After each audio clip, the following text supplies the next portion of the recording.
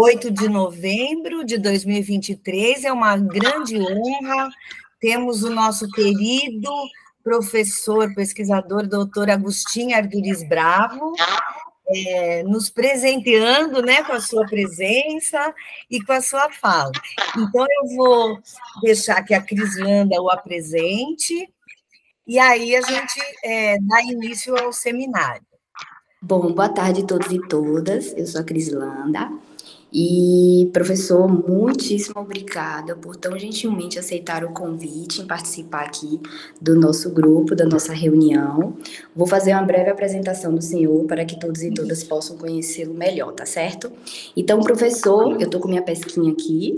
O professor, ele é graduado em Física pela Universidade de Buenos Aires, a UBA, é doutor em Didática das Ciências Experimentais pela Universidade Autônoma de Barcelona, a UAB, inclusive o título do seu trabalho é Integração da Epistemologia na Formação de Professores de Ciências.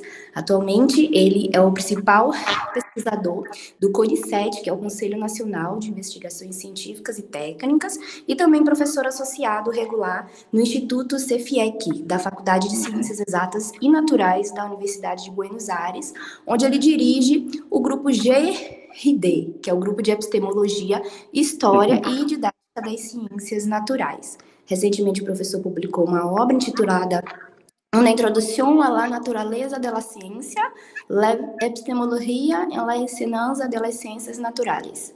Peço perdão pelo meu espanhol trágico. Professor, muitíssimo obrigada por ter recebido esse convite com tanto carinho e pode começar quando o senhor quiser. Obrigado, Cris, pela apresentação. É, boa tarde a todas e todos. É, muito obrigado pelo convite. Eu vou fazer a minha apresentação em espanhol, para com mais prazer, como disse Homer Simpson. É mais fácil para mim, mas se houver problema de comunicação, vocês dizem, eu vou tentar falar um pouquinho de português também, tá bom? El título de la presentación es de cómo la epistemología modula la historia de la ciencia en la enseñanza de las ciencias Y para esta primera diapositiva, slide o, tela, voy a hacer una traducción al portugués brasileiro, como filosofía de ciencia modula, historia de ciencia, de ciencias, a causa de que epistemología es un argentinismo, un latinoamericanismo, pero particular de Argentina, para decir filosofía de la ciencia. Entonces, esta presentación no va de epistemología en el sentido portugués de epistemología, la teoría del conocimiento, nociología, sino de la propia filosofía de la ciencia entendida como una metaciencia. En esta misma línea voy a hacer un pequeño glosario, inicial que puede parecer un poco obvio, pero que va a evitar confusiones eh, y dificultades más adelante. Voy a llamar a la disciplina que nos convoca en estos seminarios de Thais y del grupo, Historia de la Ciencia, aunque a veces por influjo de la tradición francesa se la suele llamar historia de las ciencias en plural, entendiendo esta disciplina como una historia general de la ciencia desde siempre y para siempre y de toda la ciencia humana, en particular las más duras o al dente, la matemática y las ciencias naturales, y también una historia de cada una de las disciplinas y subdisciplinas contenidas en esta área para. En este sentido, es muy común reservar el nombre de Historia de la Ciencia solo al área paraguas de ciencias naturales. Y en la discusión histórica o historiográfica muchas veces estas ciencias naturales asociadas a las tecnologías o a sus tecnologías propias. Aquí aparece una primera anomalía con la matemática, debido a que en la historia de la ciencia clásica, en dos sentidos, la clásica historia de la ciencia tradicional, eh, segundo, cuarto y tercer cuarto del siglo XX, y enfocada en el periodo clásico de producción científica desde Grecia hasta la modernidad. La matemática era parte integral de esos relatos y sin embargo ahora en general se hace una historia de las ciencias naturales fuertemente separada de la matemática. Voy a hacer eso mismo, no voy a hacer consideraciones sobre los elementos históricos de matemática u otras ciencias formales, me voy a concentrar más bien en eh, lo histórico en las ciencias naturales, entendiendo por ciencias naturales astronomía, física, química, biología, geología, paleontología, oceanografía, ecología, etc. Cuando hablo de enseñanza de las ciencias, también es un giro abusivo, una forma terminológica comprimida de decir ciencias naturales, ciencias naturales, ¿sí? Y eh, voy a enfocarme en la enseñanza principalmente formal, en todos los niveles educativos, desde el inicial hasta el superior, superior universitario y no universitario, pero con especial foco en la educación secundaria obligatoria, debido a que considero que ahí hay la auténtica educación ciudadana en ciencias, y en la formación del profesorado, formación inicial y continua de profesores y profesoras para ese nivel educativo. La educación secundaria obligatoria depende de cada país, ¿no? En Argentina va hasta los 18 años, pero eh, en Brasil un poco menos, dependiendo del país de la región, pero estamos hablando principalmente de meninos y meninas de 12 a 15 o 16 años que están recibiendo estos primeros elementos fuertes de ciencias naturales, eh, desde un imperativo nuevo, novedoso, renovador, que pretende eh, educación de ciudadanía para la vida en democracia. ¿Cuál es el propósito generalísimo de la charla de hoy, del debate posterior, del, conversatorio posterior? Quiero operacionalizar algunos de los alcances posibles de los famosos dicta de Kant y de Lakatos que involucran filosofía e historia general o filosofía e historia de la ciencia. Esta idea casi de canción de Shakira, de ciega y vacía, ¿no? ¿En qué sentidos la una sin la otra es ciega y la otra sin la una es vacía? Hay también un propósito subrepticio. Quiero conseguir historiadoras historiadores de la ciencia brasileñas que me ayuden a construir casos históricos para análisis epistemológico, eh, en general, pero en particular en el marco de la polémica muy exacerbada, muy eh, ferviente que hay en la última década en torno a la emergencia de una nueva naturaleza de la ciencia o nature science, naturaleza de la ciencia. No. Eh, a partir de aquí voy a insertar unas láminas, unos slides, unas transparencias, que tienen que ver con los ejemplos históricos que he ido tratando desde mi grupo GEID, como se presentó, mi grupo de investigación e innovación en la UBA, que van a parecer un poco extemporáneas, porque estaban reservadas al final, claramente, en la retórica clásica, pero que las fui intercalando entre medio para no hacer tan denso el discurso teórico. Eh, y entonces cada una tiene que ser entendida en relación con una retórica general de producción de material histórico para la enseñanza y la formación del profesorado, pero también en relación directa con la diapositiva anterior, con algún punto central de la diapositiva anterior. Les presento entonces uno de los casos que hemos trabajado recientemente en colaboración con el profesor Leonardo González Gali, didacta de la biología bien reconocido aquí en mi instituto CEFIEC. El caso se llama Abdúceme la vida de un tirón, haciendo juego de palabras con, con el bolero reconocido o reconocible, y, e intenta bucear en la obra de Darwin, y en particular en las primeras ediciones de Origen, de Origen de las Especies, para mostrar una noción de explicación eh, pragmático-semántica superadora de las nociones clásicas positivistas y neopositivistas, que, a la que le interesa mucho mostrar la unificación de lo disjunto, mostrar eh, casi como lugar común eh, la proposición de los elementos teóricos en Darwin como un gran argumento en favor de mostrar un hilo conductor de lo vivo que unifica un montón de fenómenos y hechos del mundo recogidos por una diversidad de disciplinas del siglo XVIII y XIX que, prima facie, para los investigadores de la época, aparecían disjuntas o incongruentes entre sí. A su vez retomo este ejemplo, este primer ejemplo, que es uno de los más recientes de mi trabajo, en relación con la diapositiva anterior de que busco historiadoras brasileñas de la ciencia, porque me interesa pensar en una evolución latinoamericana en dos sentidos, en el papel que tuvo el viaje de Darwin por eh, Sudamérica para la recogida y construcción de hechos paradigmáticos, de evidencias, eh, de índices peircianos para la fabricación de la teoría abductiva, el modelo abductivo, y también eh, rastrear las aportaciones de personajes del sur del sur, de nuestros países, al gran tejido de la teoría evolutiva darwiniana y neodarwiniana, los siglos XIX y XX. Bueno, ¿cuál es el contexto desde el que emito mi discurso? ¿Dónde me posiciono? Me interesa, por supuesto, el hotspot, el trending topic de usos de la historia de la ciencia en la educación científica, que ya es un tema overarching, ¿sí? un tema de cobertura eh, central, muy reconocido internacionalmente, y con eso me refiero no solo a la investigación pura y dura desde el campo de la didáctica de otras disciplinas, sino al debate o controversia alrededor de la temática, fuerte en estas últimas dos décadas, y a la crítica sostenida, teórica, informada y argumentada sobre los malos usos o usos viciados, viciosos de la historia de la ciencia en la enseñanza. También me ocupa y preocupa el tema de lo que yo llamo historias de la ciencia, usando la idea anglosajona de science stories, o sea, narrativas, narraciones, relatos, cuentos de base histórica hechos para enseñar.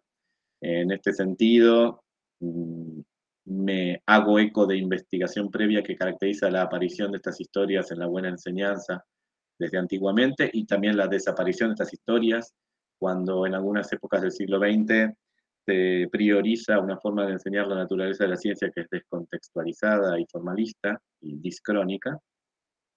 También la construcción fuerte de lineamientos teóricos en torno a los buenos usos de estas historias de la ciencia y a las reglas de construcción, muy nutrido por los aportes del ICSE, International Conference of the History of Science for Science Education, un conglomerado de investigadoras, investigadores a nivel internacional con mucha presencia en Brasil y algo de presencia en Argentina que trabajan estos temas y, por supuesto, desde el lado de la innovación, el desarrollo, la aplicación, la extensión, la producción de textos y materiales de buena calidad para las aulas, salas de aula, ciencias naturales y la formación inicial y continua de profesores.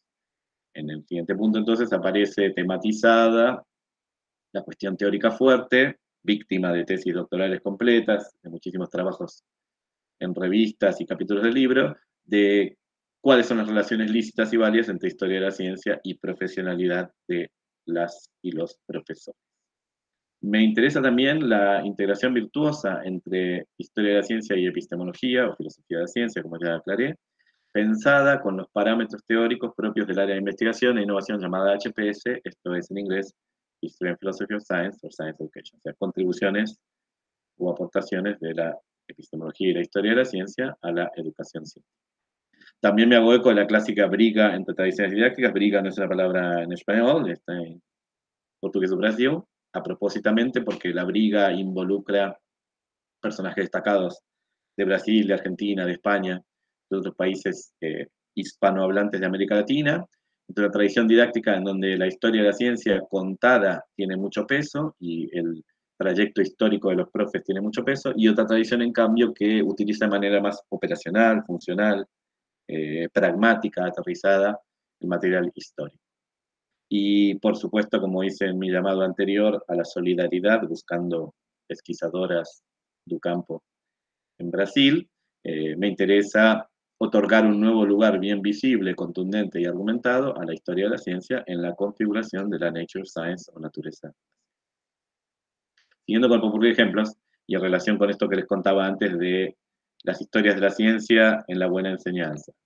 Eh, es ya un lugar común hablar de la participación de un tal Geiger y un tal Marsden, dos caras, ¿sí? Eh, a principios del siglo XX que ayudan, coadyuvan a que Rutherford genialmente descubra el núcleo atómico, eh, aparece como un locus en los libros de texto de los diferentes niveles educativos y se, trabaja con mucho detalle en los libros de nivel superior, la formación universitaria de científicos y de profesores, eh, con los defectos graves de una historiografía muy rancia, muy rasca, muy cutre, muy floja, muy floja de papeles, muy flaca.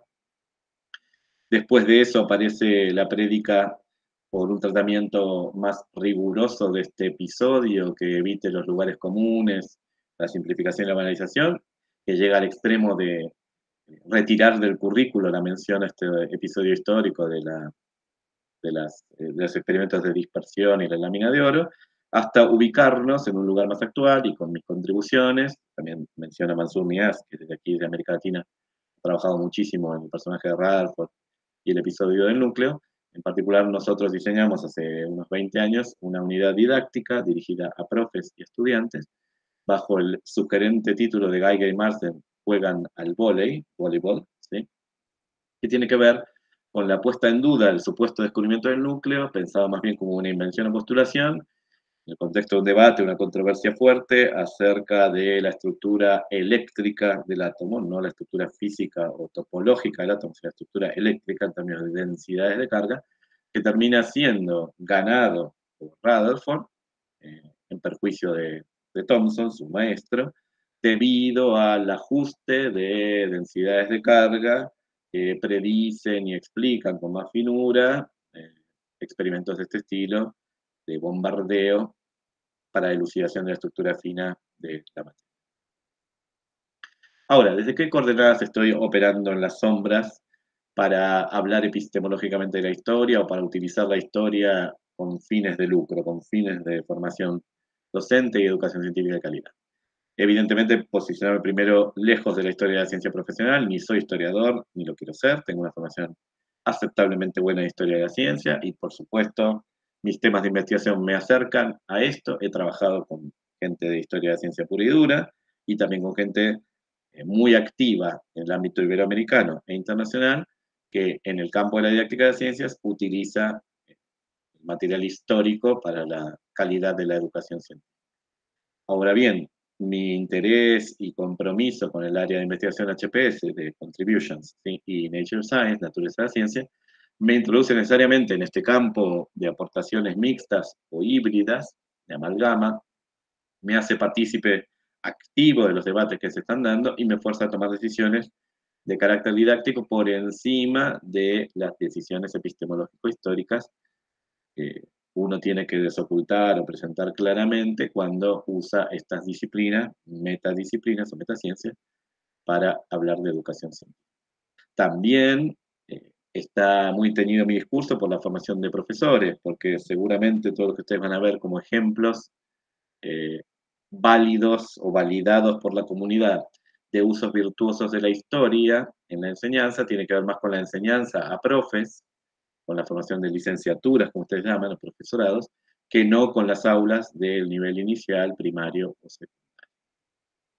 En este contexto me interesa sobremanera algo que en general no ha aparecido en eh, seminarios anteriores del grupo y que me interesa que charlemos, que tiene que ver con la integración eh, balanceada y virtuosa del contenido histórico que se está presentando en la enseñanza o en la educación o en la formación de profesores, con el contenido disciplinar puro y duro, físico, químico, biológico, etcétera, el contenido epistemológico y eventualmente en el caso de profesores, el contenido didáctico. Esta integración ojo de araña o puzzle, trozo de pizza, es bien compleja, porque muchas veces cuando llevados por el entusiasmo para introducir material histórico ponemos mucho énfasis en la historicidad y la narrativa, no nos damos cuenta del peso cognitivo y la dificultad que añaden los otros vértices. Lo disciplinar puro y duro, las reflexiones de carácter epistemológico-filosófico y eh, la reflexión pedagógico También trabajo mm, mucho en mi grupo, en colaboración con Andrea Rebel Chión, sobre el tema de narrativas y con el matiz de pensamiento narrativo y modos de pensamiento y explicación que voy a desarrollar en un ratito. Con Andrea trabajamos también la idea de multireferencialidad, de integración disciplinar o arial, cómo es posible contar historias que contengan información proveniente de distintas disciplinas y referencias teóricas para que sean vehículo de una concepción mucho más multidisciplinaria o compleja o 3D o rica o multicausada de los hechos científicos. Trabajo también fuertemente sobre esta idea de ciencia por humanos y para humanos, y un subtema, un subtópico allí es el de ciencia y minorías, y también con un foco muy fuerte últimamente, en los últimos 10 años, en abducir la abducción. Ahora voy a explicar un poco qué quiere decir esto. Encontrar episodios históricos en los que pueda yo, por razonamiento abductivo, decir que las personas crearon ideas a través de razonamientos abductivos. Así como yo puedo inducir la inducción o deducir la deducción, puedo abducir la deducción. Encontrarla y reconocerla en episodios históricos, hipotetizando que en esos momentos históricos, con esos personajes, esos contextos, esas agencias, la gente funcionó abductivamente para generar sus ideas. Lo expuse brevemente en el caso de Darwin. Y a su vez, desde muy recientemente, en colaboración con Martín Pérgola, trabajamos la historia de la ciencia, como un contexto genuino, válido para la enseñanza de la ciencia. Es un lugar al que abrevar, con el cual recalar para eh, dar sentido a los modelos teóricos que vamos a enseñar en las aulas. Entonces, en relación con esto, lo subrayado aquí, ciencia por humanos y ciencia de minorías, abducción de la abducción, tengo dos versiones distintas, entre otras varias, tengo como cinco versiones distintas de actividades didácticas para profesores centradas en la vida de María Salomé Skodowska Curie. Eh, una de ellas, titulada Vida y Milagros de María Curie, descubrió de la Radium, que tiene que ver con la recuperación del personaje en contexto, por supuesto con el hilo fuerte de mujer y ciencia, de mujeres en la ciencia, pero más abierto en general al personaje complejo, interseccional y a su desempeño en ese contexto picante eh, de la Francia de pre-Primera Guerra Mundial y de entreguerras después. Y otra versión, titulada La invención del radio, que se opone fuertemente al abusivo empleo del verbo descubrir como una metáfora valedera para la innovación científica y que a su vez hila fino en torno al modelo de explicación. Intenta explicar qué significa explicar en las ciencias naturales. Hago una aclaración hasta aquí. Em, las actividades que yo estoy presentando eh, bajo el título de Popurrí de ejemplos están en general publicadas de forma más escueta, más breve o más extensa y detallada. Algunas están menos publicadas. Son actividades que hemos ensayado en clase, en sala de aula, con nuestros profes, nuestras profas. Eh, otras están un poquito más difundidas y otras están fuertemente difundidas, ya incluso con material para su uso o consideraciones técnicas. Depende de cada ejemplo. Bueno, ahora voy a presentar tres láminas que tienen que ver con disquisiciones clásicas que quiero activar aquí para el debate. La primera es la más clásica de todas, pero creo que siempre conviene recordarla, no está del todo saldada. Voy a presentar algo que no es exactamente la distinción canónica que hace Helge Krag. ¿sí? Voy a hacer una reelaboración personal que a mí me sirve en mis clases de formación de profesores. Voy a entender historia de la ciencia, la categoría historia de la ciencia, el lexema historia de la ciencia, eh, al menos de cuatro maneras diferentes, que están encajadas entre sí, pero que son conceptualmente diferenciables. La primera y obvia, la de sentido común, o la que permea y pregna el sentido común, es que la historia de la ciencia es aquello que sucedió en la ciencia otrora, antaño y a la sazón.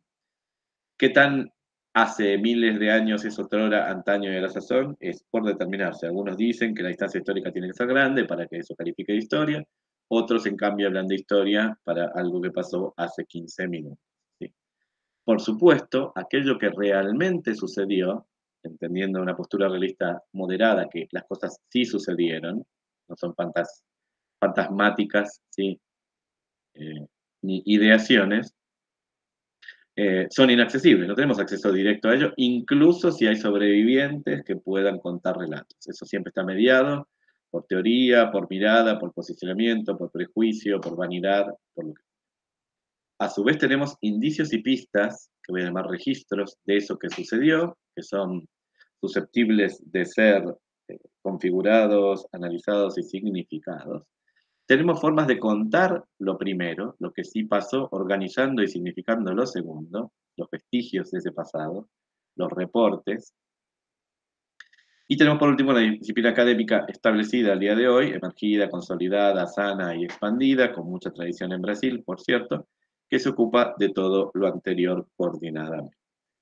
En ese sentido, voy a recurrir a nuestro trabajo sobre Alan Turing, Alan Matheson Turing, aquí la viñeta de los 100 años de su nacimiento, una actividad que llamamos cuando lo privado se hace público, que tiene que ver con recuperar toda la historiografía política reciente que rescata el personaje y lo coloca en el centro de la discusión, pero a su vez impugnando ¿sí? o refutando una tesis de base que es que parece que todo lo que se cuenta morbosamente sobre la vida de Turing es solo una anécdota picante, humanizadora, para traerlo y rescatarlo y llorar por él y solidarizarnos, pero no constitutivo de su trabajo intelectual, de sus ideas, de sus ideas.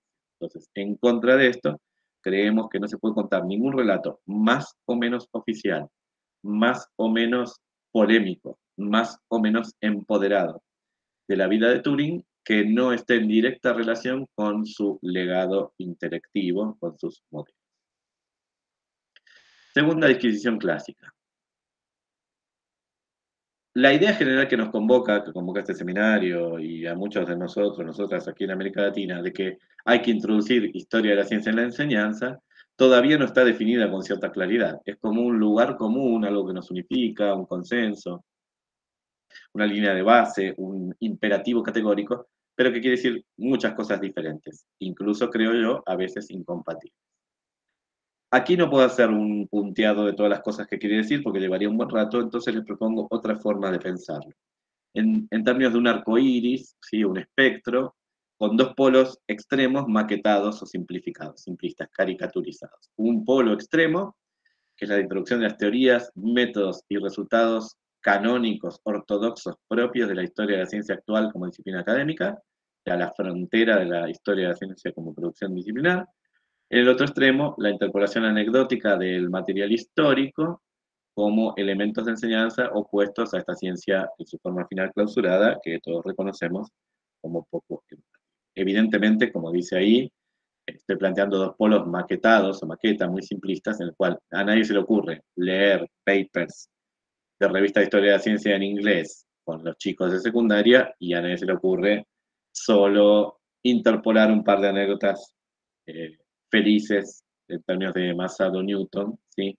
en el currículum sin hacer alguna disquisición un poquito más fuerte. Entonces, son evidentemente dos posiciones ya inexistentes en la realidad real, pero que me eh, configuran los dos extremos del debate académico que quiero de alguna forma acercar.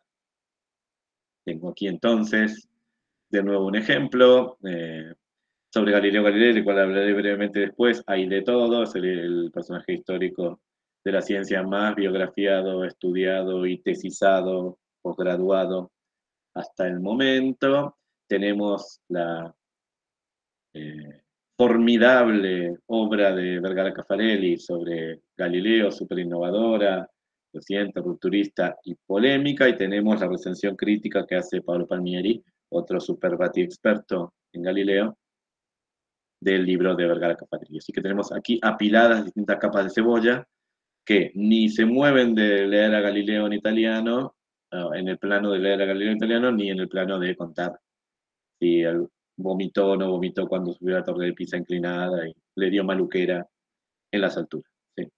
Eh, esta actividad que yo hago con profes, que no es estrictamente usando el material histórico, sino material bibliográfico de historiografía, tiene que ver con colocar bajo debate los modos de averiguar, esa es la idea de hacking, ¿no? Los modos de averiguar de la historia de la ciencia erudita y su conexión con la buena. Tercera y última disquisición clásica. Se suele decir en los congresos, en los eventos, que todas y todos estamos de acuerdo que la historia de la ciencia es un ingrediente indispensable de la profesionalización del profesorado de ciencias, pero ¿qué alcance tiene esta información? ¿Será que tenemos, como en un caso así exageradísimo brasileño, que leer Principia newtonianos en latín y compararlo con traducción al inglés y al portugués de Brasil y ideas de sentido común que tienen los profes? ¿O en el otro extremo, solo hacer aparecer la historia de la ciencia momentáneamente, de manera muy encapsulada, en mi curso o mi materia, mi ramo, mi disciplina de didáctica de las ciencias, eh, fungiendo el rol de viñeta histórica en la discusión más amplia de naturaleza de la ciencia, sea esta de las coordenadas clásicas del grupo de Lederman o las aproximaciones más modernas como ciencia integral, whole science o family resemblance approach, aproximación de parecidos de de nuevo estamos hablando como de dos polos, aquí un poco también exagerados y maquetados, que tienen que ver con cuánta historia, qué historia, para qué, cómo, con qué experticia histórica de profesores y profesoras, dada por quiénes, qué profesionales son los más idóneos para introducir la historia de la ciencia en la formación docente, formación del profesor. Aquí el ejemplo que trabajamos o que traigo a colación trabajado por nosotros tiene que ver con Rosalind Nelsie Franklin, otro personaje picante, polémico, denso y que da mucho de sí en la historia de la ciencia reciente. La actividad se llama Rousey contraataca, Strikes Back, como en la película. Impugnado la retórica general de la carrera. Y lo que hacemos aquí en relación con la diapositiva anterior, ni la anécdota de contarla como la heroína olvidada del ADN, ni la exégesis de los textos eh, más duros de cristalografía eh, de, la periguerra mundial, un lugar en el medio en el cual el personaje es importante por su rol de mujer, de maltratada, de olvidada, de peri este, científica o en la periferia de, este descubrimiento biológico, pero en realidad en una red de relaciones complejas, socioculturales, donde importa más las relaciones complejas entre los tres personajes y el destino de las ideas cristalográficas, que no solo eh, el listado de los malos tratos eh, y machiruleses de Watson y Crick, especialmente de Watson, contra su figura. Bueno, llegados acá, podemos hacer una especie de primera aproximación de definición de qué quiere decir modulación epistemológica. ¿Qué quiere decir que la epistemología está modulando la historia de la ciencia? Voy a hablar más general del saber epistemológico o, si quieren, más del saber metateórico, metacientífico, que incluye epistemología, filosofía de la ciencia, pero también sociología de la ciencia, otras metaciencias, saber no disciplinado, eh, aproximación CTS, estudios sociales de ciencia y tecnología, feminismo científicos, estudios queer y un largo etcétera. Esta mirada metateórica permitiría a pesquisadores en didáctica de ciencias o didactas, profesores y profesoras y estudiantado, por un lado, romper con la imagen de sentido común de la crónica de hechos. Sabemos que tal día y tal hora tal científica dijo tal cosa.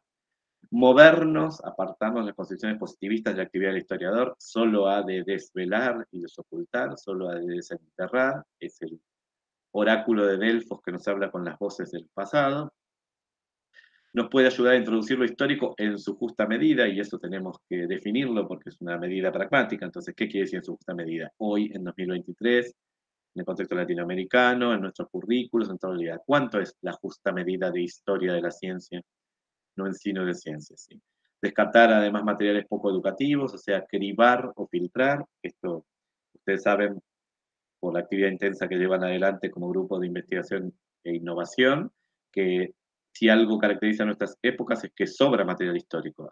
A, diferencia de hace 20 o 40 años, donde el material histórico faltaba, había poco, o era poco accesible, hoy sobra material histórico en la web. Entonces, los profesores y profesoras y estudiantes están expuestos a una gran cantidad de material histórico.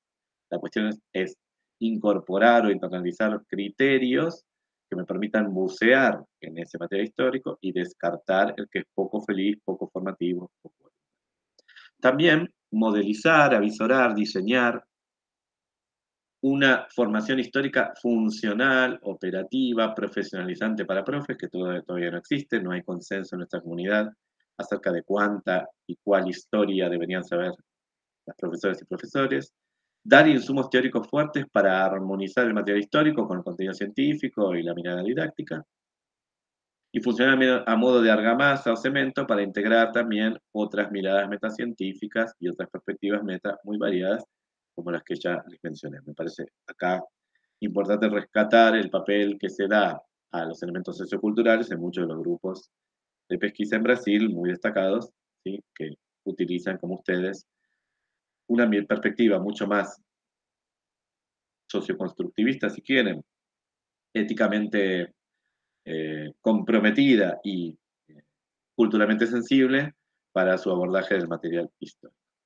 Aquí eh, el ejemplo tiene que ver no tanto con contar una historia de ciencia, sino con releer con teoría una historia de ciencia disponible.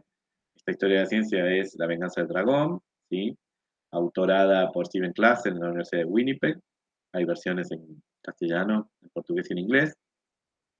Es un relato breve acerca de la vida de Louis Slotin, un científico canadiense que emigró a Estados Unidos en, el contexto de la Segunda Guerra Mundial y la fabricación de bombas atómicas, ¿sí?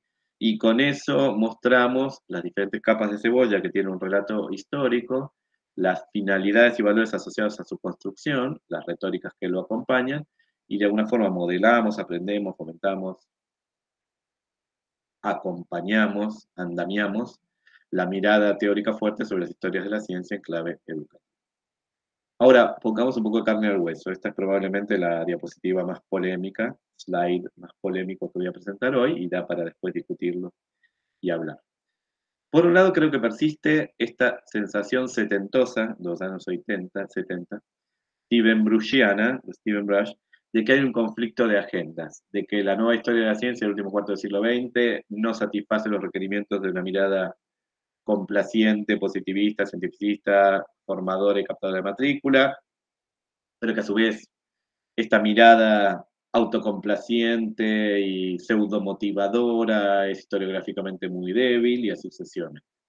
un conjunto de conflictos entre distintas concepciones de lo histórico en lo educativo, desocultados, desenmascarados por historiadores de la ciencia. Por otro lado, Michael Matthews, celebérrimo didacta de las ciencias naturales australiano, muy prolífico autor en temas de epistemología e historia de la ciencia para la enseñanza, nos habla de Galileo Galilei como un hombre para todas las estaciones epistemológicas o filosóficas, siendo un eh, juego de palabras, ¿sí? con la película eh, Man for All Seasons, que hablaba de Santo Tomás Moro. Él habla de Galileo Galilei como que toda epistemología le va bien, ¿no? Ha sido un personaje sobre reconstruido con agenda política debajo y que esto se expande a cualquiera de los popes científicos, ¿no? Los grandes varones blancos, este, heterosis, creadores de ideas, legado para la humanidad, son objeto, lugar común de la reconstrucción historiográfica canónica y carne de tesis y trabajos, y son reconstruidos siempre con una agenda política floja de papeles, fraca, y muy precaria, que, a la que se le ve los hilos, ¿no? que es fácilmente de, desenmascarable, porque uno ve detrás qué es lo que quiso decir el autor, el autor historizador o historiografizador cuando nos presenta el personaje de turno de esa manera. Por otro lado, constatamos que hay algunos casos sobreutilizados en la enseñanza, y pongo como epítome o paradigma el caso Semmelweis, que aparecen en los libros de texto, en los materiales, en la formación docente, en la discusión sobre educación, pero que en realidad no existen como tales casos libres en el mundo, son casos en plural, existen muchos casos de Semmelweis. Gran cantidad de reconstrucciones diversas, historiográficas, todas ellas diseñadas para un conjunto de finalidades y valores asociados. Y aquí piensen en la diferencia entre la reconstrucción que puede hacer Hempel en su libro clásico, con la que hace Loretta Körge, eh, o las que hacen desde la historia y epistemología de las ciencias de la salud más recientemente, o las que hacen este, las enciclopedias eh, y Wikipedias y Googles cuando homenajean al personaje. Por otra parte, eh, científicas y científicos de la talla de los ya mencionados Skłodowska-Curie, Franklin y Turing, entre tantos otros que podemos insertar en esta lista, son objeto de reconstrucciones anti positivistas, anti-establishment, anti-hegemónicas, que voy a llamar progresistas, que al historiografiarlos denuncian la forma rancia, tradicional, cuadrada, retrofacha, machirula de hacer historia de la ciencia, pero que se presentan altamente politizadas y marketingizadas también. Quiere decir que la recolocación de la agenda también se hace transparente. Y a veces el hecho de tener que empujar desde el punto de vista retórico una nueva agenda más progresista hace que los elementos historiográficos duros se nos desvanezcan o se nos pericliten o se nos. Doy siempre el ejemplo de la desaparición de las menciones a Gosling, estudiante doctoral de Franklin, en la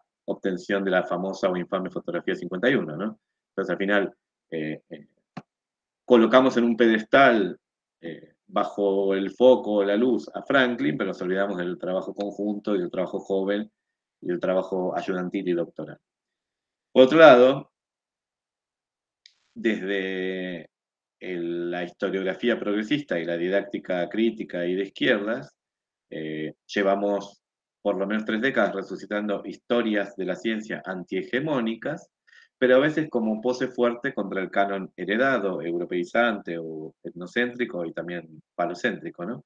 Y parece que en estas historias tan contadas con tanta regionalidad y con tanto particularismo, no se terminan de descubrir los invariantes humanos que los hacen universales y por tanto parecen al final reservadas a ciertas poblaciones blanco especiales que necesitan de esas historias como motivación eh, anexa. Lo que a uno le gustaría este tipo de historias antihegemónicas estuvieran en todos los libros de texto para todos los estudiantes y no solo dirigidas a clases donde ciertas minorías o ciertos grupos o ciertas tribus van a querer ser invitadas a la aventura de la ciencia. Como medio resumen de todo lo anterior, lo que podríamos llamar una nueva historia de la ciencia, que, de nueva no tiene nada, es vieja, ¿no? A partir de acá del 50, 60 del siglo pasado, no termina de salirse de esta matriz etno y androcéntrica, un poco más salido de lo androcéntrico que de lo etnocéntrico, por tanto, faltan historias colectivas, disidentes, jóvenes, orgullosamente raciales o racializadas, periféricas e incluso fallidas. y todavía nos queda mucho por hacer, tanto en la historia de la ciencia pura y dura, que no es mi campo, como en la didáctica de ciencias naturales, al intentar integrar el material histórico en nuestras clases. Aquí eh, no voy a hacer una reconstrucción este, del estilo de las que pongo acá, de eh, colectiva, disidente, joven o racial, pero sí hablo de lo periférico, ¿no? Buscar en el sur global un episodio eh, de la historia de la ciencia configurador de las relaciones al interior de América Latina o de Sudamérica, ¿no? La importación de este nefasto personaje Richter, científico medio alemán, medio austríaco, afín al Tercer Reich, que llega a la Argentina en tiempos de Perón, con la eh, promesa de crear energía libre y limpia por fusión nuclear y termina siendo un farsante similar al del cuento infantil El traje nuevo del emperador, ¿no? que embauca y engaña a todo el mundo construyendo una gran central nuclear que es solo mentira, solo canto. Ahí al costado tiene una foto del estado del laboratorio batisecreto de Richter en la isla Huemul, en la Patagonia Argentina, como estaba en decadencia total hacia el año 2010. Bueno, aquí insisto entonces la idea de localidad. ¿Por qué elegir un personaje de estos que no descubre ni inventa nada relevante, solo engaña y pide dinero, pero que lleva al gobierno peronista de turno, al original, por cierto, a dar un volantazo, un viraje extremo que tiene como consecuencia colateral o daño colateral la creación del Instituto Balseiro, una joya de la corona científica.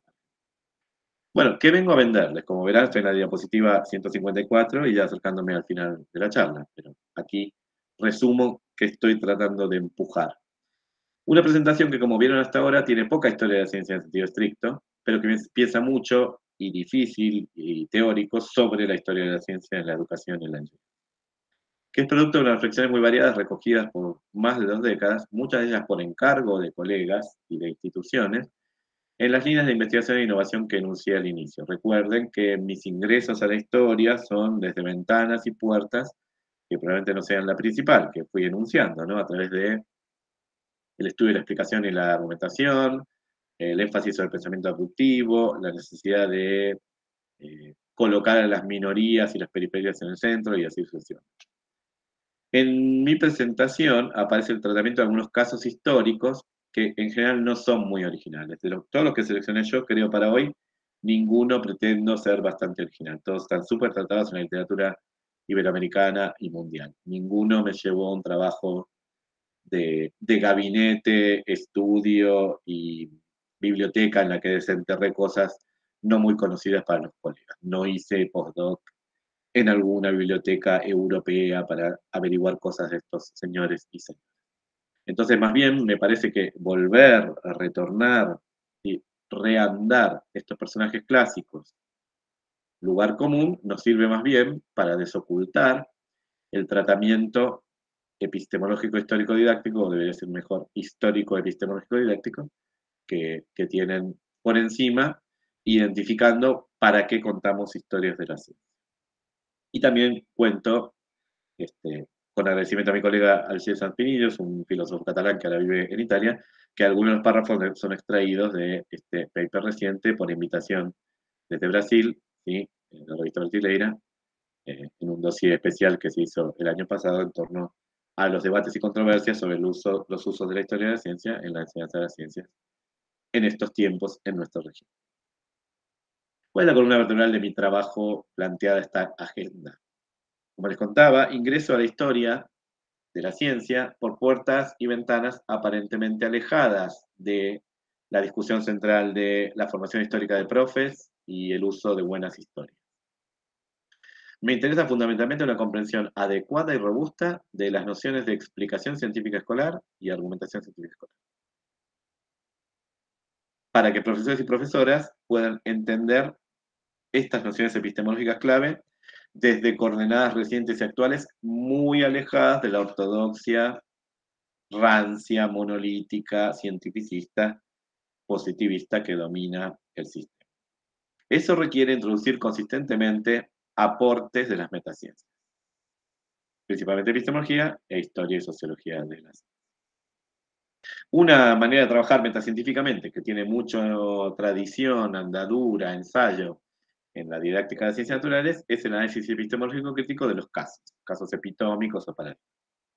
En mi caso, casos de explicación y argumentación que se disfrazan en realidad de casos de descubrimiento o invención.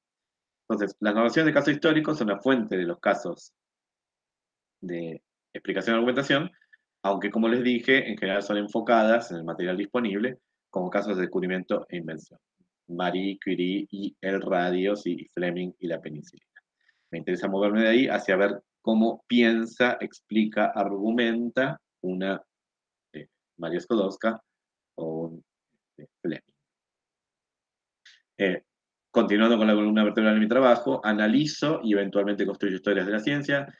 Más de la mitad de lo que hacemos con profesores en formación inicial y continuada tiene que ver con analizar historias de otros disponibles, los grandes repositorios anglosajones y lo que hay circulante en América Latina, sobre todo en Brasil, que hay muchísimo material.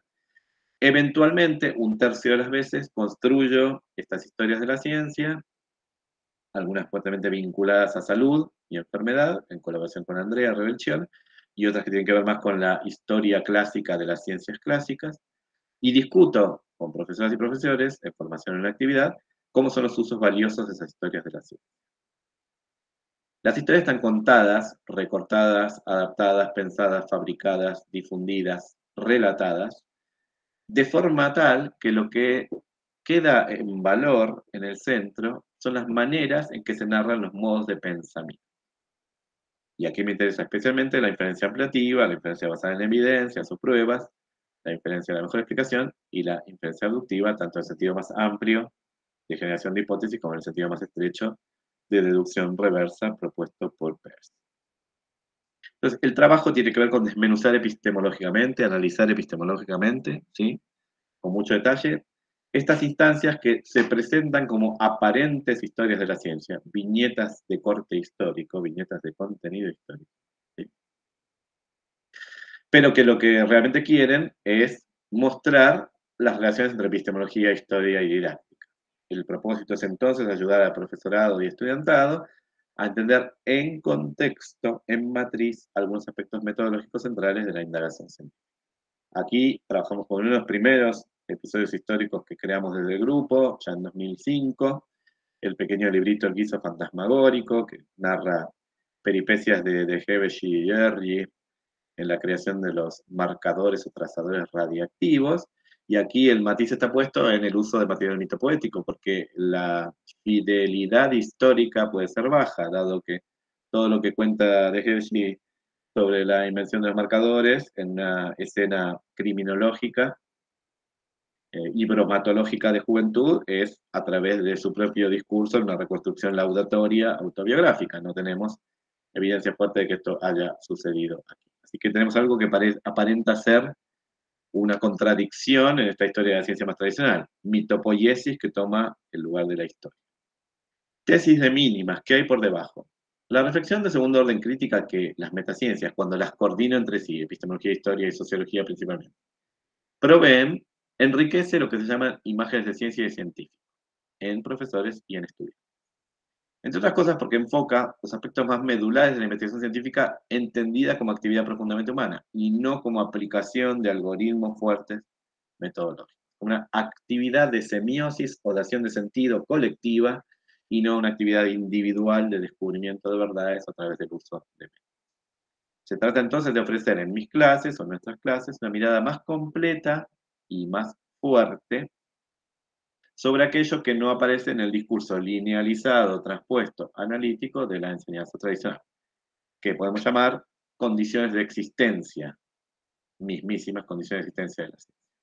Podemos hablar entonces de casus scientia, de los casos de la ciencia, ejemplos paradigmáticos o, por el contrario, antiparadigmáticos, ejemplares por la contra, de práctica científica histórica en distintas épocas que devienen herramientas estratégicas para ejemplificar naturaleza de la ciencia aquella naturaleza de la ciencia que creo que se ha de enseñar.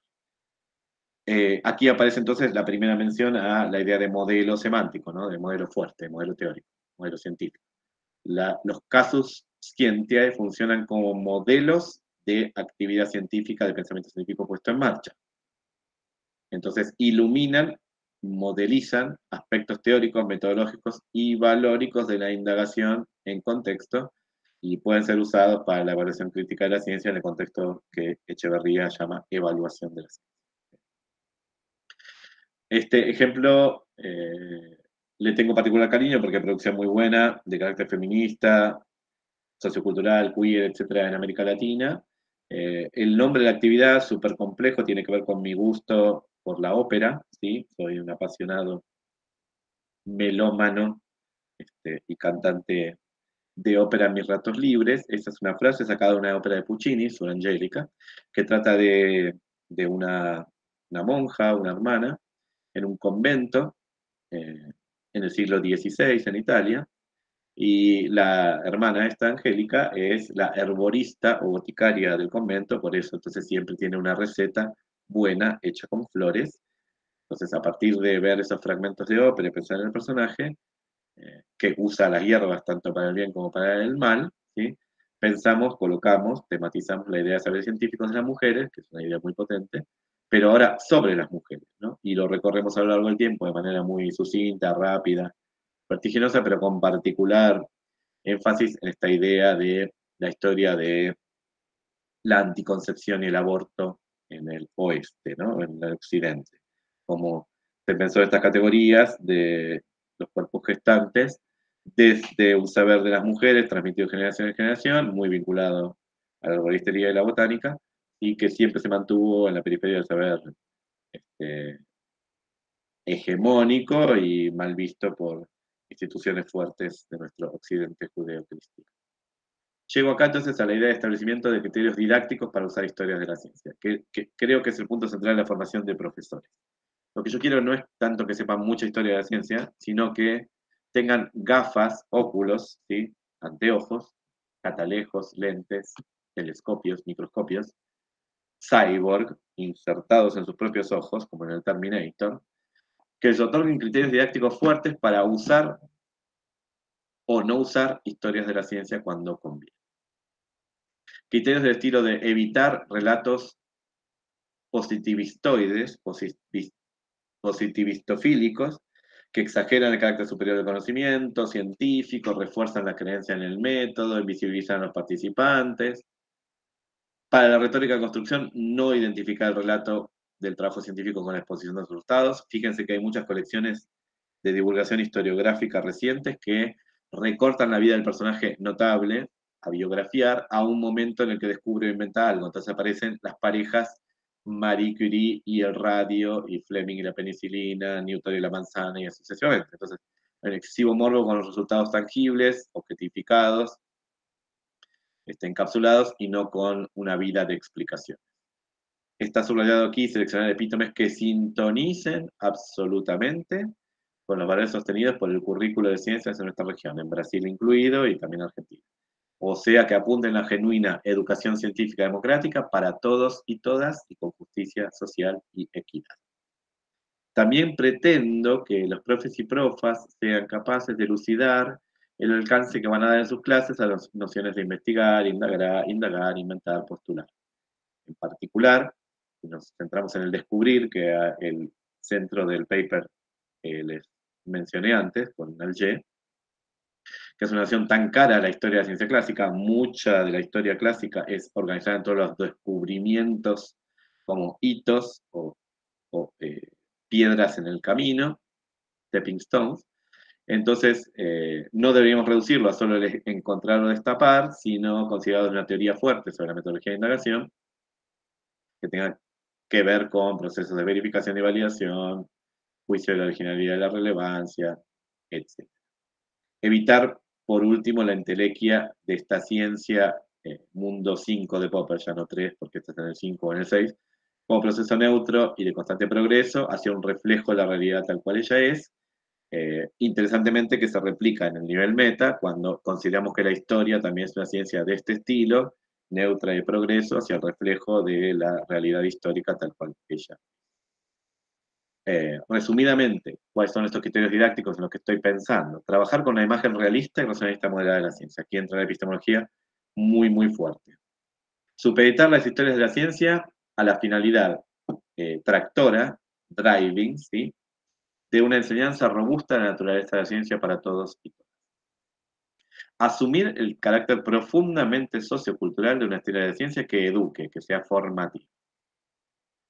Aprender lecciones de ciencias del lenguaje y la comunicación. Los relatos que vamos a contar en clase, que vamos a usar, no son lo mismo que las reconstrucciones racionales y los reportes que genera la historia de la ciencia. La historia de la ciencia como disciplina genera textos que son inutilizables, inusables en la enseñanza de la ciencia. Sé que esto es muy polémico lo que acabo de decir y es debatible y espero que alguien este, me lo conculque o me lo niegue a la cara. Pero lo que estoy diciendo es que en general la producción histórica erudita no es llevable al aula. No me imagino a alguien leyendo un texto de Palmieri entendiendo algo sobre Galileo, a menos que eso, eso se haga de una manera muy cuidada, muy andamiada, muy ingenierizada desde el punto de vista didáctico, como hay buenos ejemplos en Brasil. Por tanto, tendríamos que abrevar en fuentes historiográficas congruentes con todo lo anterior. Aquí tomo la idea de Mercedes Izquierdo de aliados, buscar aliados en la historia de la ciencia. En Brasil hay muchos y muy buenos. Gente que es historiadora, rigurosa, pura, disciplinar, pero que simpatiza, sintoniza, abre la cabeza hacia la educación y la didáctica. Y permitirnos, ¿por qué no?, adaptaciones educativas que en primera instancia serían horripilantes para los historiadores más puristas, pero que en realidad tienen enorme valor educativo. Doy siempre este mismo ejemplo, aquí no es mío, sino que miramos una película, un filme francés comercial de los años 90, Le Pan de Monsieur Schutz, una excelente película, aquí están los protagonistas, eh, Philippe Noiret como Monsieur Schutzberger, y Charles Berlin como Pierre Curie, y la alucinante Isabelle Huppert como María Salomea Skodowska una película de primerísimo nivel, de altísima calidad, que sobrevive al tiempo, muchísimo mejor, mejor que Radioactive y que Mary Curie y otras posteriores. Entonces vemos ahí las operaciones complejas de los guionistas, de los creadores de los escenarios, para en algún momento violentar algunos aspectos históricos duros, hacer pequeños cambios en la línea del tiempo, introducir hechos eh, no tan así, un poco ficcionales, pero con la idea de una educación en sentido muy amplio, y una formación ciudadana en ciencias, una comprensión pública de la ciencia, que tiene eh, excelente fundamento histórico, pero más aún criterio didáctico, comunicativo, este, humano, humanista. Mi trabajo entonces con epítomes de base histórica, y ya estoy terminando para abrir a la charla y al debate. Quiero que las historias de ciencia que yo use sean modelo aductivo de descubrimiento científico. La concepción de aducción que uso es la de Charles Sanders Peirce, antigua, tiene más de 100 años, pero educativamente muy valiosa y muy buena. Entonces, pretendo una caracterización rica de la explicación científica escolar y la argumentación científica escolar en el marco de esta indagación, en donde el razonamiento abductivo me funciona de herramienta teórica distinta, refrescante, novedosa, rupturista y más progresista frente a la dicotomía clásica entre inducción y hipotético deductivismo. Son las dos retóricas fundantes de base, estructurantes del discurso historiográfico en torno a los personajes clave de la época clásica de la, la modernidad. Busco establecer relaciones sustantivas entre ciencias naturales y otras actividades humanas que se parecen fuertemente a ella en la resolución de problemas y en el uso de evidencia. Por supuesto, después se desparecen, son muy distintas o no se asemejan en muchos otros aspectos me interesa particularmente la investigación detectivesca, policíaca, médica, diagnóstica, forénsica y arqueológica. Pretendo entonces empujar unas ideas de naturaleza de la ciencia mucho más democráticas e inclusivas que se alejen del elitismo del relato escolar eh, seleccionador y propedéutico que tanto tiempo eh, domina nuestras salas de aula. Con todo lo dicho, estos epítomes de los que yo pienso, estas buenas historias de la ciencia, adquieren un estatus epistémico en el que pretenden ejemplificar, paradigmatizar aspectos centrales de la metodología científica, contemplando la práctica de la ciencia de algún modo internalista crítico, pero sin perder traza del atravesamiento de los contenimientos externos y la naturaleza cultural de la ciencia como producción humana. Para lograr esto, las narraciones que yo cuente, o que use, o que critique, o que mire, o examine, o destripe, o demande de los profes y las profas o de los estudiantes, requieren ser más eh, paradigma de complejidad de accionar científico que no eh, relatos fidedignos de los datos, de los datos objetivos. Por tanto, lo que pretendo es reflejar esta aventura del pensamiento que comporta la indagación científica, donde lo central es explicar y explicarse y argumentar y argumentar. Eventualmente, eso es una línea, una sublínea, un, un side track, se puede ensayar, probar unas tipologías de relato muy atractivas para el público general, estudiantes y profesores, donde la actividad científica de estos grandes personajes o de otros se cuente como al final de una novela detectivesca de Agatha Christie, ¿no? una diagnosis exitosa de una enfermedad rara, como en el caso del Dr. House, o el desenterramiento de una tumba faraónica que se creía perdida, como en el caso de Tutankhamun. Entonces, ¿cómo relaciono esta plataforma epistemológica anterior, que es una diapositiva densa, pero que la paso un poquito rápido, ¿sí? después la retomamos, con mi, mis historias de la ciencia 1, 2, 3 y 4, ¿no? estos sentidos entretejidos de la frase o el lexema historia de la. El caso histórico narrado es fundamentalmente una herramienta estratégica epistemológica para mostrar contenidos metacientíficos o de naturaleza de la ciencia que debería haber en las clases. Lo histórico, por tanto, está supeditado al epistemológico. Y aquí empezamos con la idea de nuevo de modular para terminar la charla. La noción de historia que se toma en las historias no corresponde a lo que pasó, sino ofrece una lectura teórica sobre algunos aspectos seleccionados de aquello que pasó. Seleccionados con criterio didáctico, formativo, educacional, y con criterio de eh, valores asociados al currículo, equidad, justicia social, etc. Por tanto, en general no hago uso del aparato teórico-metodológico de la historia de la ciencia como disciplina, por el contrario, me acerco mucho más a la noción de contar la producción disciplinaria en clave de narrativa. Y aquí parezco contradictorio con lo anterior. Cuido en no caer en usos inválidos del material histórico. Esto no es contradictorio. Inválido no significa aquí incorrecto, que yo tomo algo que no es historiográficamente del todo certero o verdadero. Me permito tomar cosas historiográficamente no del todo certeras o verdaderas. Más bien, invalidez significa que tergiverso de tal forma la historia que ya no sirve a los propósitos y fines que me interesaban. Violenta el trabajo de los historiadores que la generaron y banaliza prostituye las finalidades curriculares con las que la introduce. Entonces, la idea general de una historia modulada epistemológicamente es eh, encontrar los hilos del tejido de una lógica narrativa de carácter evidencial, que se mueva de esta primera reconstrucción paradigmática de lo, de lo científico como detectivesco, con el científico de turno, con Super Ramus, su gorra y su lupa gruesa, su lente para mirar, hacia una reconstrucción mucho más de este estilo, con otro personaje muy distinto en coordenadas, en un trabajo de hilado fino de chismes, de entrevistas, de me tomen todo, de meterse por ahí, que como dice ahí chiquitito por ahí abajo, contiene intriga, delito y misterio, ¿no? que son las cosas que le interesan a la gente de verdad, como subclase de gente de verdad, profesores y estudiantes. Em, este movimiento hacia una, contar las historias detectivescas, científicas detectivescas, más en clave de una señorita Marple, tiene que ver con activar las tres AES de las que yo hablo, aducción, analogía y argumentación, como pilares teóricos fuertes de las historias de la ciencia en la enseñanza. Concluyo con un poquito más de rigor. ¿Qué es modular epistemológicamente la historia entonces ahora, a una hora de haber empezado? Las historias de ciencia epistómicas que yo uso, o que pretendo usar, Intentan narrar descubrimientos, pero más bien narran explicaciones, por eso las vuelvo a escribir o las doy vuelta. ¿sí? Eh, aterrizando para ello hallazgos de la historia de la ciencia disciplinada, o sea, lo que hacen los historiadores y historiadoras, pero muy ayudados por el resto del saber científico y en particular de la epistemología. No se puede crear un relato de aula, una narrativa, la historia de la ciencia, sin participación activa de la epistemología. No forma de solo transponer o adaptar o divulgar o popularizar la historia pura La forma epistemológicamente fundamental de construir, presentar y trabajar casos, casus scientiae, los hace devenir en epítomes, los emerge en epítomes, porque la racionalidad, la narracionalidad misma, es la que condensa la carga histórica, la teórico-histórica que trae la disciplina y los disciplinos.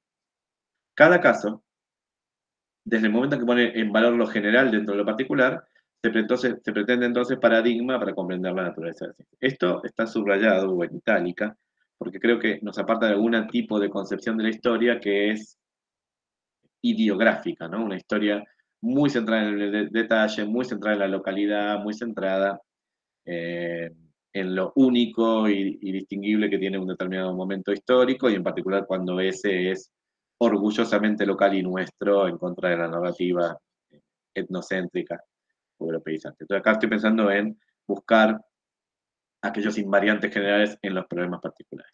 La epistemología aporta también a la transformación o transposición de caso histórico en una aventura épica de indagación que magnifica, aumenta, pone foco en un subconjunto pequeño de complejidades de la práctica científica. Quiere decir cuando yo cuento una historia de la ciencia, lo hago sabiendo qué es lo que quiero contar de todo. Por supuesto que ustedes pueden decirme que en la historia de la ciencia pura y dura, disciplinar, también sucede esto. El historiador, la historiadora no cuenta todo y cualquier cosa, cuenta algo en particular, pero cuenta algo en particular mucho más amplio que lo que queremos contar en clase. Lo que queremos contar en clase es súper específico. Esto para generar esta mirada con estos valores, con estos propósitos, con estos métodos, con esas teorías. Termino entonces aquí agradeciendo muchísimo vuestra participación y ampliando entonces, abriendo ahora el espacio a la conversación, al conversatorio, a la discusión, a las preguntas, a las quejas, a la briga, etcétera, Voy a dejar de compartir aquí, así ya aparecemos en puzzle para el diálogo. Gracias, gente. Muito obrigado. Parabéns, Agostinho. Muito obrigado. bom, adoramos. Agora vou deixar a Crislanda conduzir aí a, as questões e tudo mais. Ótimo. Pois bem, prof, muito obrigada. É, está aberta as perguntas, quem quiser se pronunciar, fazer comentários. Obrigado, professor, pela apresentação. Um elemento que apareceu durante a sua fala é a respeito do. O senhor mencionou a respeito de um conhecimento que tivesse ligação com os povos, é, eu anotei aqui povos originários, né? Eu não me recordo exatamente qual a fala que o senhor utilizou. Eu falei orgulhosamente eu... racial orgulhosamente racial. Eu queria saber se na, na, nos seus estudos, né, e como que é na Argentina, essa relação com do conhecimento acadêmico com o conhecimento dos povos originários. Ok, ok. É bem difícil a sua pergunta. Vou tentar fazer uma resposta integral e honesta. Obrigado. É, vocês brasileiros conhecem a Argentina muito bem e vice-versa, não? Somos inimigos íntimos nos queremos y nos odiamos mucho. Entonces, sabemos cuál es el estereotipo de, de uns y dos otros.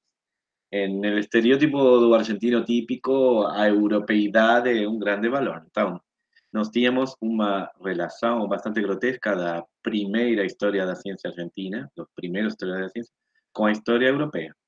Entonces, teníamos disque expertos, so-called experts, en Galileo, ¿sí? ¿Cómo es posible que usted, morando en Argentina, faça Historia de Galileo, sí.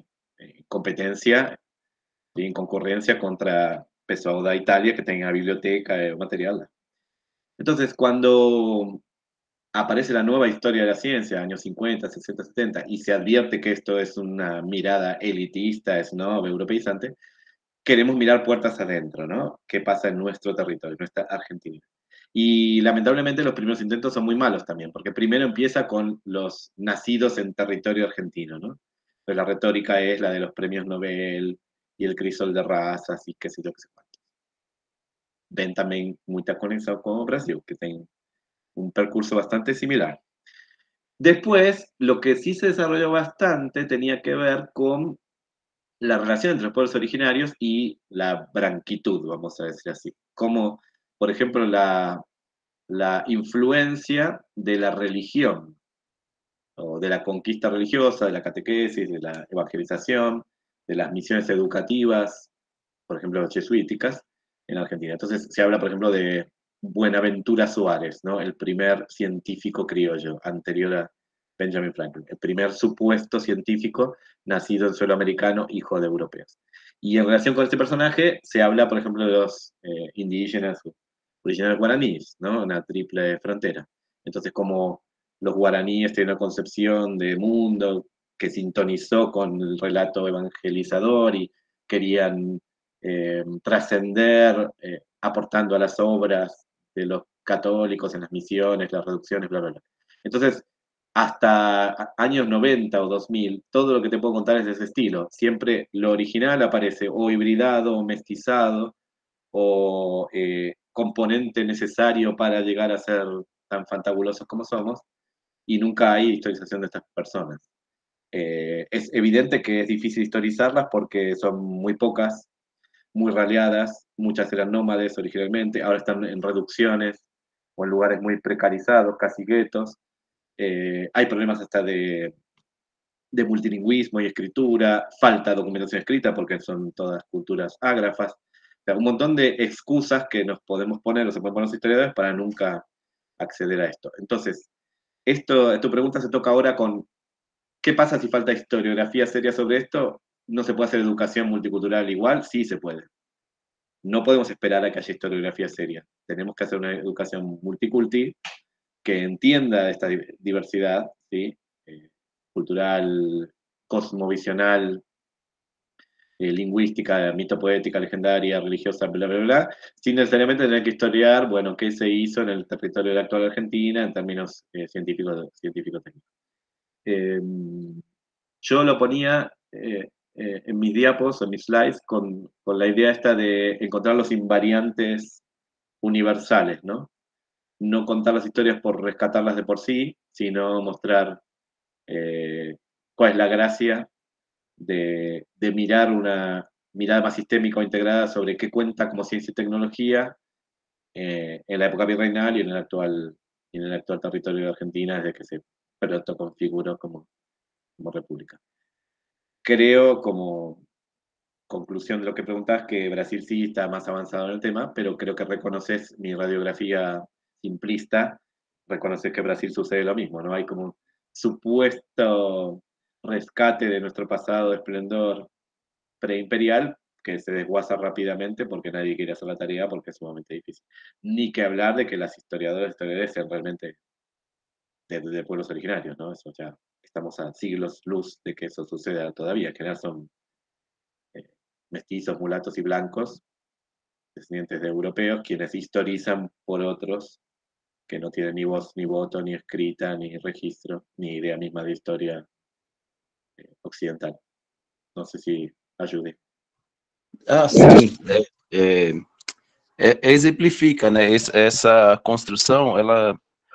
isso é um processo em construção, né? Aqui, em é. um momento anterior, nós tivemos a presença da professora, até foi mencionado no início, né? É, a professora Queiroz, e aí ela uhum. mencionava que tem, né? Estudos que têm é, aproximar desse conhecimento, mas um dos aspectos que o senhor mencionou, o fato de serem culturas Sim. que não é, utilizavam a escrita para registrar os seus conhecimentos, faz com que é, seja um impedimento, uma vez que é, nós recorremos né, muito a, a esses registros escritos. Mas Sim. muito obrigado pela resposta. De nada.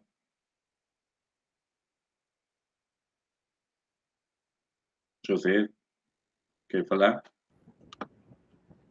Boa tarde novamente a todos e todas. Professor obrigado. Agostinho, muito obrigado pela presença, por dividir suas pesquisas e seu conhecimento conosco, muito enriquecedor. É, mas eu fiquei com uma, uma velha e boa agonia no, no, no, ouvido, como se diz, aquela pulguinha atrás do, da orelha. Sim. A construção a partir de epítomes, que são condensações, elas requerem um cuidado é, tanto epistemológico quanto historiográfico gigantesco para a gente não acabar caindo num relativismo, numa superficialidade e até incorrer, como você mostrou no, no na, na, sua apresentação, uhum. a, a não cair naquilo que o, o, próprio livro didático faz de forma muito ruim.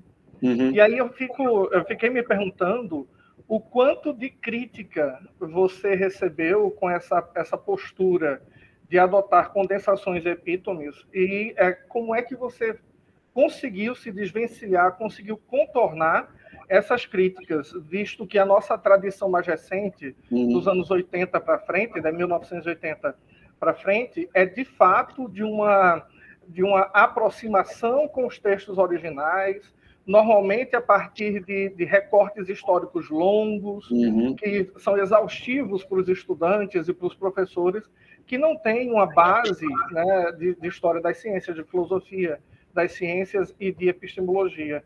Era essa a minha provocação e eu queria te ouvir acerca Ok. Uh, é muito boa a pergunta, porque não, são, não é uma provocação, são três provocações. Ao mesmo tempo, é bem picante, bem, bem boas. Eh, primeiro, a, a, mais fácil é como qual é a recepção das minhas ideias. A, aqui os epítomes não são dialogados, né, são conversatórios, são epítomes no sentido grego do epítome, que é exemplar cuniano paradigmático, sim? mais perto do, do English epítome, ou epitomic case, que dos epítomes no espanhol ou português, tá bom? Então, não estamos usando o formato diálogo, dialogar próprio da igreja e outras coisas assim. Então, são mais pertinho, mais tradicionais do, do relato narrativo de o Einstein foi para o Brasil, viu o, o eclipse, inventou a gravidade este, deformante, sim? Estão perto da retórica tradicional, não tanto da retórica, mas do, do, do molde, sim? do pattern, do, do template das histórias tradicionais. Então, na, passam dissimuladas, não há tanto escândalo sobre o, formato, sim? Eh, se, se, ubica una larga tradición. Sobre cómo recibe la gente. Hace muchísimos años, un muy conocido historiador de la ciencia español, en una charla mía, yo dije que, bueno, que no había que escandalizarse con la deformación de la historia para la enseñanza y se sintió morir. Se levantó y se fue ofendido. ¿sí? Ese mismo historiador me invitó luego de conferencista plenario a un congreso de historia de la ciencia en España. ¿sí? Quiere decir que es una cuestión de comunicación, que cuando uno lo dice de una forma chocante y, para el debate parece espantoso, pero cuando uno analiza la idea un ratito se da cuenta de que es, de que es este, sensata. ¿sí? Entonces me lleva a la, primera parte, que es eh, cómo no caer en la banalización, la prostitución, y la superficialidad. La historiografía o la historia de la ciencia erudita, eh, profesional, académica, también simplifica, porque eso es el pilar de la modelización. Solamente tiene modos de simplificar que no son banalizadores, que no son superficializantes. Entonces, básicamente mi respuesta a la primera parte es, los didactas tenemos que aprender de los modos de simplificación y aproximación que no son banalizantes. Y creo yo que esos modos, eh, haciendo uso de la teoría de transposición didáctica, de la didáctica francesa, no son eh, analíticos, son sintéticos. No es que yo tengo que agarrar cada parte y decir, aquí tengo que tener bien la fecha en que Madame Curie vio el radio, aquí el paper exacto donde lo dijo, y aquí no olvidarme que entonces André de Vierne le contestó, y aquí entonces tengo que ver el gobierno y el Jacques, ¿sí? Este, de la affaire de Suisse. E, esa es la parte analítica, cree que, que, si yo agarro cada parte por separado y las transpongo, cuando recree aquí el monstruo didáctico, va a tener de todo como en botica, como en el original, y todo bien. Y es ahí donde se me des la base. ¿sí? Es como tratar de dibujar en pequeño una sala, un salón como este, y poner todos los detalles. Entonces, cuando yo intente dibujar el vaso con flores, me va a quedar espantoso, porque lo tengo que hacer así chiquitito. ¿sí? Entonces, lo que yo digo es que tenemos que hacer una especie de transposición homomórfica donde el conjunto historiográfico queda vuelto a pensar no cada parte por separado, sino el conjunto. Interesantemente, yo creo, es una hipótesis de trabajo, que cuando eso sucede, en la nueva versión, la versión que es educativa, algunas partes separadas quedaron incorrectas, son antihistóricas o discrónicas. ¿sí? En la película Le Pan de Monsieur Schutz, se vale de un montón de, herramientas propias de la comunicación pública de la ciencia para explicar a quien está viendo qué es la radioactividad, porque es muy difícil una película sobre radioactividad para un público general que no sabe qué es la radioactividad. Entonces se mueven dos discursos en el cual tengo que contar vida y milagros de María Curie, pero al mismo tiempo contar en castellano normal o en francés normal que estaba estudiando. Entonces, clásicamente, por ejemplo, toma un sujeto patrón, que sería el simplicio galileano, y le habla a la nana, ¿sí? de, sus hijas, a la niñera, ¿sí? a la este, babysitter. Y le explica, y en un momento habla de la radio-televisión francesa, que no existía. Estaba a punto de existir la radiofonía francesa, pero no existía del todo. ese pequeño corrimiento de cuatro años o cinco años puede hacer que un historiador se tire de la terraza y se suicide, ¿no? Horror. Hablaron de la radio televisión francesa cuando existía. O puede querer decir, bueno, es súper inteligente el mecanismo con el cual explican al, al gran público, ¿sí? Cómo, cómo, qué es la radiactividad y con qué se... Y eso me lleva a la tercera y última parte, que es el lugar de el repositorio o canon histórico cuando uno quiere mostrar a los profesores que esta es la tarea. Cuando yo digo basta de usar Newton en latín, por supuesto que es una forma exagerada de decirlo. Yo de hecho uso Newton en latín. Confieso mi pecado. Lo que quiero decir es que hay una tradición poco crítica de muchos historiadores que saben mucha historia y poca didáctica, poca educación, que les hace creer que el trabajo es un trabajo de exégesis respetuosa, igual que al interior de su disciplina. Entonces, si yo digo algo de Maxwell, lo tengo que soportar en las palabras de Maxwell. Entonces, yo no digo que nunca uses un texto original. En algún momento los usaremos. Yo uso discursos novel, uso fragmentos de diarios, uso frases míticas como Heureka, todo lo que vos quieras. Lo que quiero decir es que es al revés el caballo y el carro, ¿sí? Que primero yo voy a intentar contar cómo explica alguien en el siglo XVII. Y para auxiliarme en ese contar y no ser anacrónico, no ser positivista, no ser eh, etnocéntrico, bla, bla, bla, traigo la voz, traigo el texto. Pero el texto, que como bien dijiste vos es un trecho, un fragmento, tengo que explicarlo. Es imposible leer un texto del siglo XVII XVIII, por muy bien traducido que esté. Usted tiene una larga tradición muy buena de traducir al portugués do Brasil, textos históricos y añadirlos a las revistas de, educación y de historia para que los profes tengan acceso. Pero esa traducción, por muy buena que sea, es inviable para los profesores. Es imposible que den sentido a esas palabras aunque estén bien traducidas.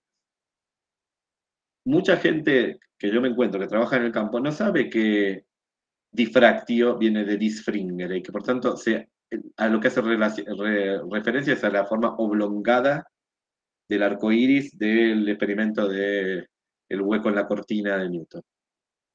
Entonces, si, si vos no sabés qué quiere decir eh, fracturar desformantemente en el siglo XVII-XVIII, vas a creer que quiere decir lo que tu profesor de física 2 ondas te dijo en clase.